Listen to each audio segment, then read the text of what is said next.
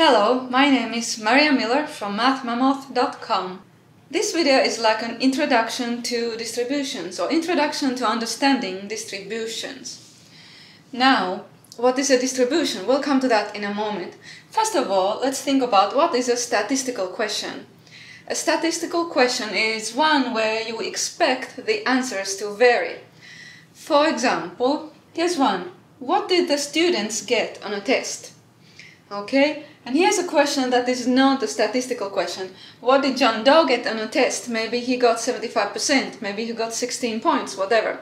It's an individual result. But if we ask what did the students get on a test, then of course we expect that there's going to be many answers. If you have 20 students, then you have 20 different results.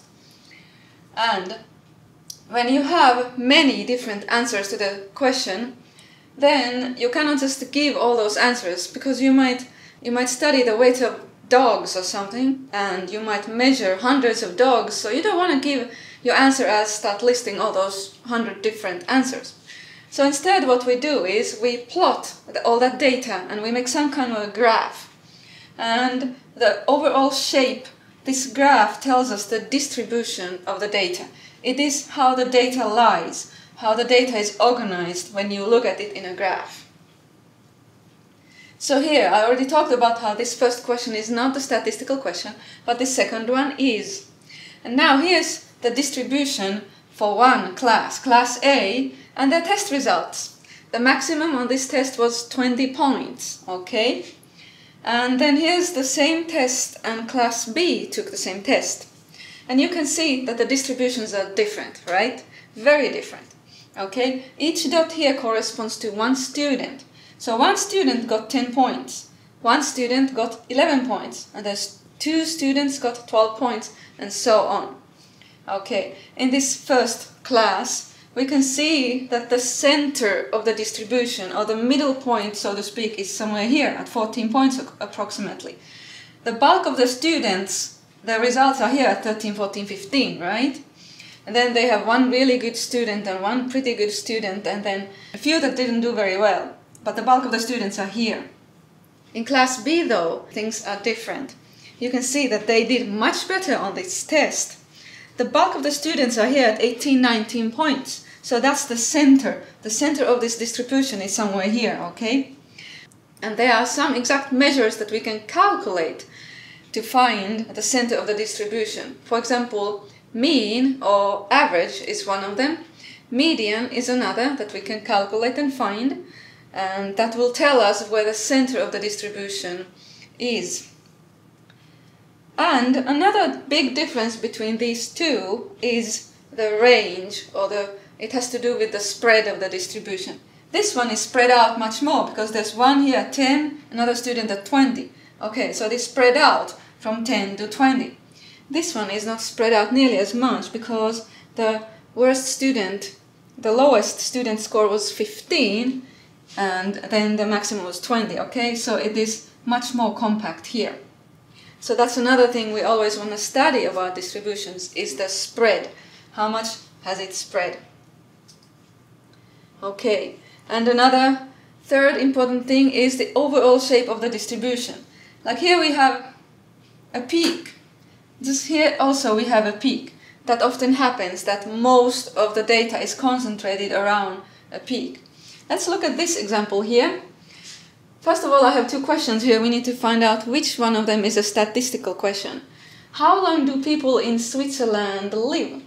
And then, how long will Uncle Joe live? Obviously, the first one is a statistical question because we expect many different answers, right? There's lots of people in Switzerland and they live different lengths of years. Their lives are of different lengths. Whereas this is about an individual person, and if he's still living, we don't even know the answer.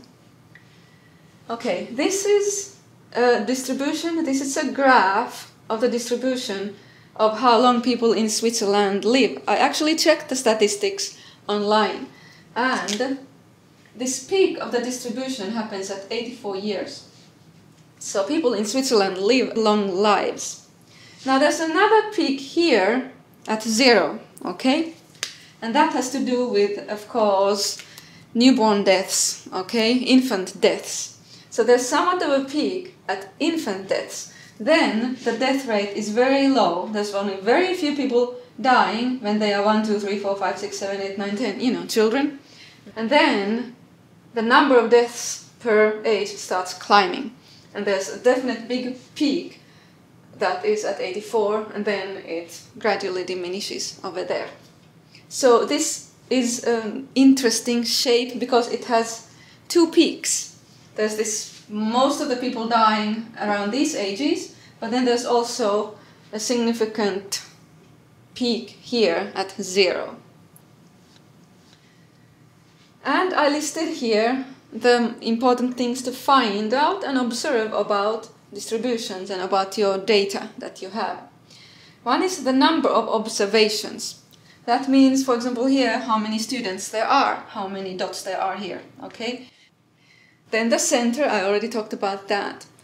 In our next lesson, we're going to study measures for the center of a distribution.